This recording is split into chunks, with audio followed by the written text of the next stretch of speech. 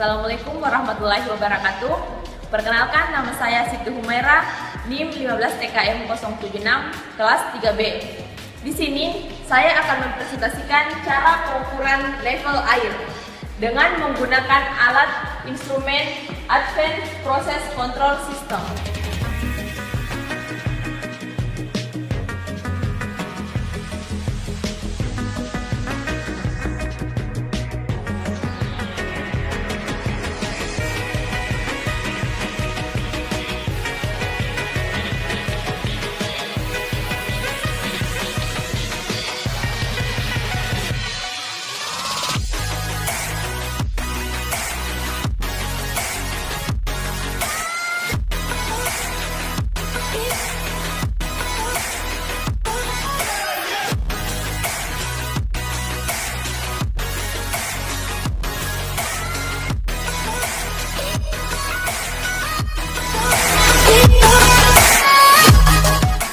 Pertama-tama, pastikan kabel terhubung dengan arus listrik.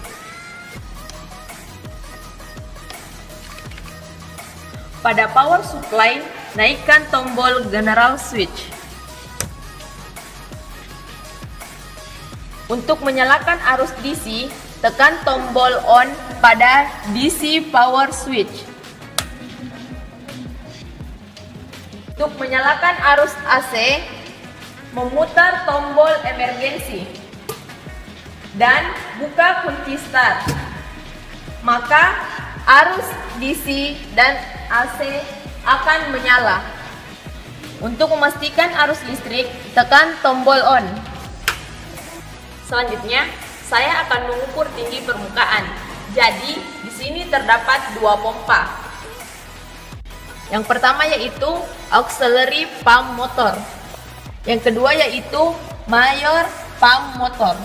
Untuk mengukur level digunakan pompa auxiliary. Pada auxiliary pump motor dibutuhkan supply. Jadi, yang dibutuhkan adalah kabel yang berwarna merah dan kabel yang berwarna biru.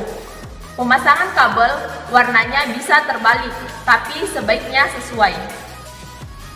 Pada power output sudah memiliki tegangan. Ini bisa dilihat dari nyala lampu. Sedangkan pada auxiliary pump belum ada tegangan. Untuk memasang kabel, usahakan memasang kabel dari yang belum bertegangan ke yang sudah bertegangan.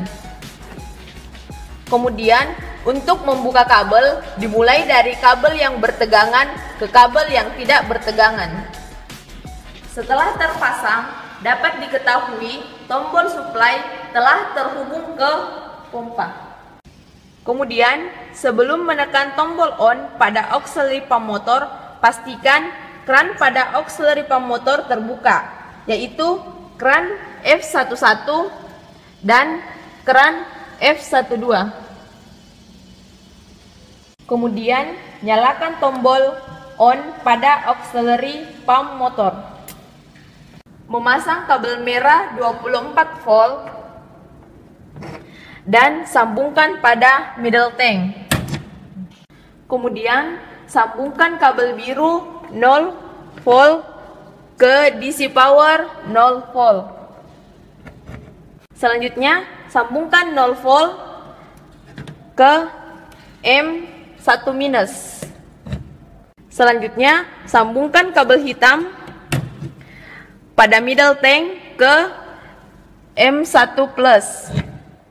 Untuk mengukur tinggi permukaan pada middle tank, membuka kran F17. Kemudian, mengamati tinggi permukaan dari middle tank. Selanjutnya, sambungkan kabel hitam pada middle tank ke M1 plus. Lalu tekan tombol on.